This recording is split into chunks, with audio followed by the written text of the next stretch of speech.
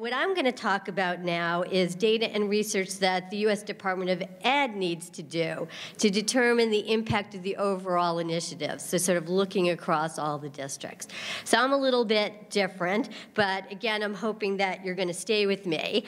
Um, one feature of what I'm about to say is that uh, in order to do an evaluation for the Department of Education, we're going to need you to roll out your FAFSA completion initiative in a particularly careful and deliberative way. And it's going to be different than what the early pilot sites do. And a lot of the discussion here was sort of emulating the early pilot sites, but fortunately or unfortunately, all of those of you who are in the expansion group that have multiple high schools, you are part of this big national evaluation. Yay!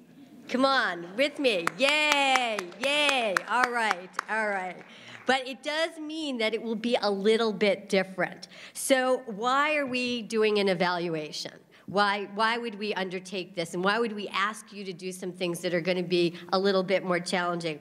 Well, first of all, every time that you download data through the portal and you get the data back, the person on the other side of it, let's see, is Charlie still here?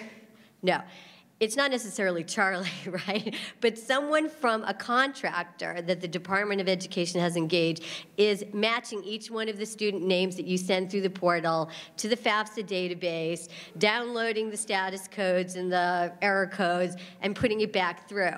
And that whole process is actually pretty time consuming. It's basically on demand data for you all as districts. And in the background, it's one of our contractors, and that costs the department money. And so when Greg went to the secretary and said, let's do this for all 24, 24,000 school, high schools in the country, someone, I think it was our deputy secretary, said, what's the evidence that this works? Because this is a lot of money that we're going to have to put out, and we should spend a little bit of time trying to figure out if it's effective. So first, we, the department, needs to know if it's effective. But then you all, you're on the front lines, and people this morning talked a lot about having the data and being able to go to your chamber, being able to go to your mayor, being able to go to your social service agencies and say, look, this is what we can do. And so it's very, very important to have some data, some research to show what the impact of the initiative is going to be. And as I'm going to talk in a minute, the work that I'm going to do on behalf of the department, I'm going to try to find a way to turn much of it back over to you all. Okay, so what questions are we going to try to answer with this big evaluation? We're going to answer questions about impact. Okay, what's the impact on FAFSA completion? What's the impact on the offer of financial aid and receipt? And what's the impact on college enrollment? And I'm going to do this for all of the districts in the evaluation, which are, again, all of the districts that have multiple high schools. Now, to get impacts, okay, impacts are a little bit different than what Kelly was talking about this morning, which is setting milestones, tracking progress. What I'm going to be doing is answering the question about what would have happened in the absence of this initiative. And to do that, I need to know, since I can't measure your schools both with and without the FAFSA completion if you roll it out everywhere, we have a strategy for rolling it out in a kind of incremental way. So I can measure the difference between schools that are really moving forward on FAFSA and those that are not. And I'm going to talk about that in a minute. Okay, so what's in it for all of you? I mean, I've talked about how important it is to the department, and I have to say that I can't remember who it was this morning, Haley or Thomas, someone talked about how you all are the pioneers. And what happens here could determine whether districts across the country are going to have access to this individual data. And that's why it's really important at the department, but it should be important to you too, because you're sort of on the vanguard. So what we are going to do is, even though we're going to do this sort of complicated statistical work behind the scenes, we're going to provide to you an, an estimate of the impact in your own district. And it's going to look a little bit different than your tracking information, but I'll talk about it in a minute. It's going to be a real estimate of impact. And as I said earlier, if it's positive, it will very much help to make the case for you to get more resource, to get more attention to your broader college access initiative. And as I said earlier, if the results are positive, it will help the department make the case for why our resources should be spent making the data available more broadly. All right, so how will the evaluation work? I think a lot of you already know about this because we put it explicitly in the letter inviting districts to participate. I know I, I was in a webinar, I was part of a webinar in August, but it was important for me to come here again because I don't think it's how districts naturally think about rolling out initiatives. We heard a little bit this morning, uh, I guess it was in Washington, that you started in one school, right, and then you rolled it out. And so sometimes it does happen that way. And I think in some ways that's a thoughtful way to do it, to concentrate your resources perhaps in a smaller number of schools, work out the kinks, and then move it into the rest of the district. Here, that is an, a fundamental feature of the evaluation design, and kind of what you signed on for, for better or worse. So what's going to happen is that at least this first year in 2013, we are going to be randomly, assign, randomly assigning the high schools in your districts. And it's not that some are going to be able to get access to FAFSA completion and some are not, but some are going to get it in 2013 and some the following year. And, and we're going to determine that randomly. So it's not that the schools that are most able to start will start first. It's going to be a random selection.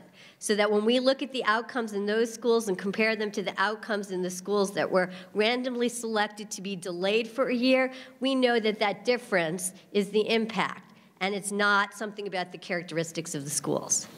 So keep that in mind. This very first year, you're only going to be implementing in half of your schools.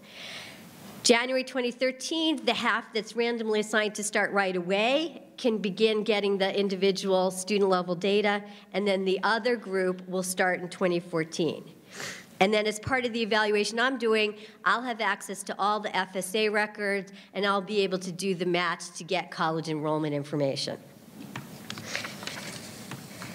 Okay, so what do we need from you all?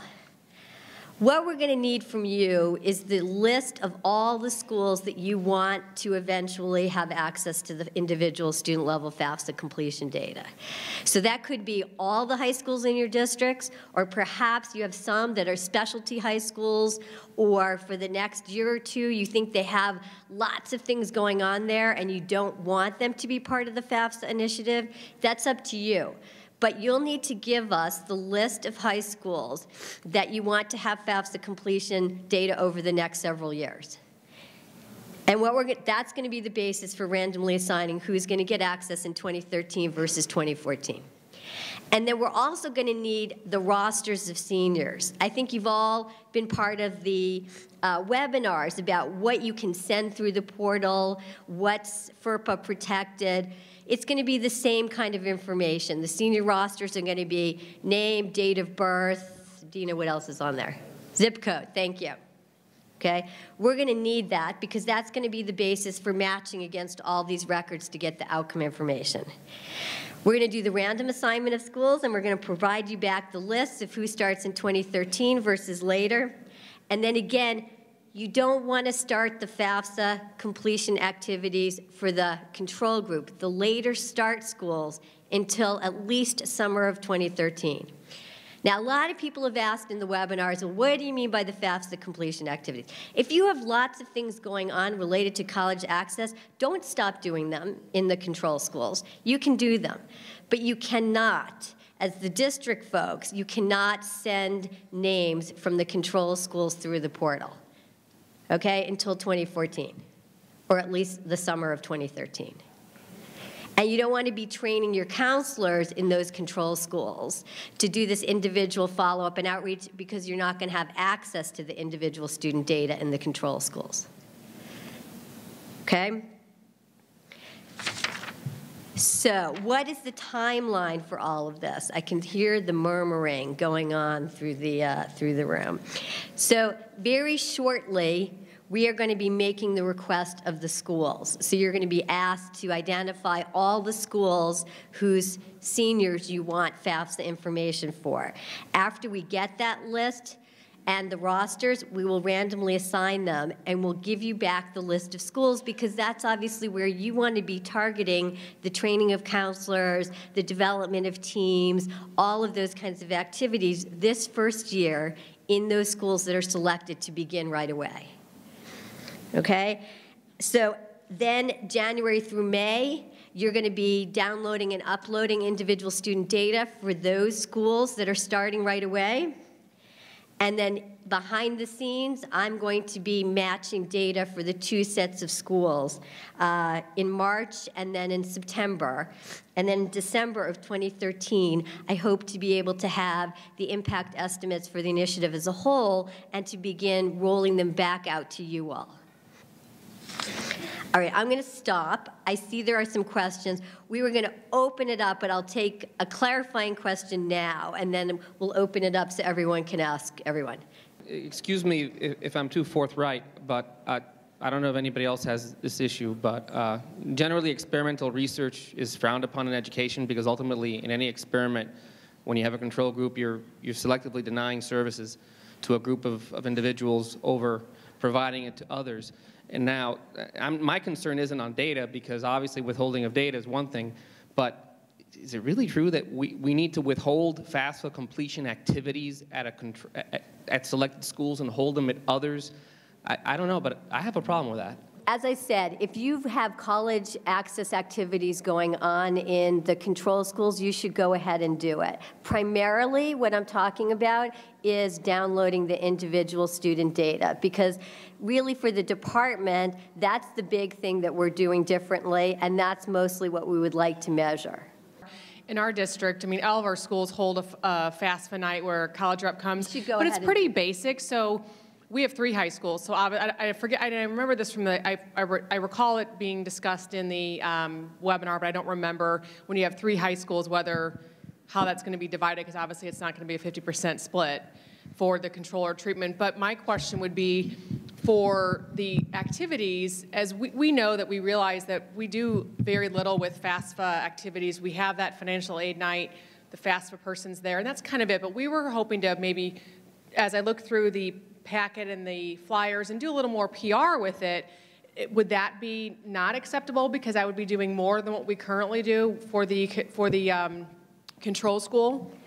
I you know, I think that particularly the PR, the collaborative work you do with partners, anything you do district wide, you should do that. Okay. You should do that. Even if it's more than what we currently do. Right, because we're not trying to prevent you from really going forward with the initiative district-wide. But we do want to do the staggered rollout because we think it's going to allow us to do a good study. And frankly, we think that it will be helpful for you all to devote your attention to not every district, but a smaller set. I mean, excuse me, not every high school, but a smaller set. Okay, because the, the big piece is not is because of not having the download piece for the treatment school, you're not going to have the information on the errors that were made and, and all of those pieces that you're going to work one-on-one with kids. And that's really is going to be the bigger difference between That's really what we're going to be measuring and testing. Okay. That's Thank right. you. Yep. I have a question for Kelly and I think for Greg. You talked about pushing this information out to our community partners who are doing college access. And my legal department will tell me that FERPA regs don't allow us to do that. Has there been any movement on that? Greg, I know you were looking into it when we met last month. Ed has just said that there'll be a presentation on that tomorrow. Yeah. Does that sound right? Is Dan here? Dan Clock? Is that what you're covering, Dan? Yeah. Okay, that'll be covered tomorrow morning for everybody in the room. But from the um, Chicago perspective, and we can talk afterwards as well, um, my point wasn't necessarily about giving your, your external partners the data, but there are lots of ways that you can engage them in helping to support the rollout and reaching students through things that you organize because you know information that they don't. Yes, thank you. I have a couple of questions related to the directory information for the seniors, that file. Um, how often will we be able to refresh that file? I'm sure we're not unique in the fact that every day we have students moving in and out. I believe that in response to questions that it came in through the last webinar, we um, are all in agreement that you should be able to update your list of seniors. I think what we're going to try to do is talk about that at the end of Charlie's session tomorrow in the data session.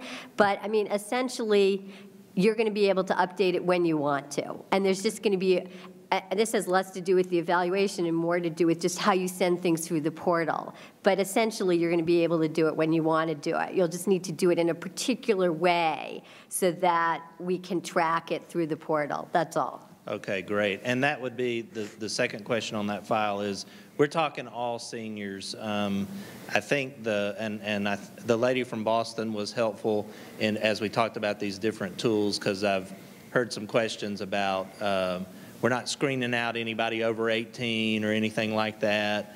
Uh, I think some, I think there's some confusion between the tool about the FAFSA completion that was shown earlier and then what we're actually doing for the uh, file upload. So this is just all seniors. Is that Right. correct?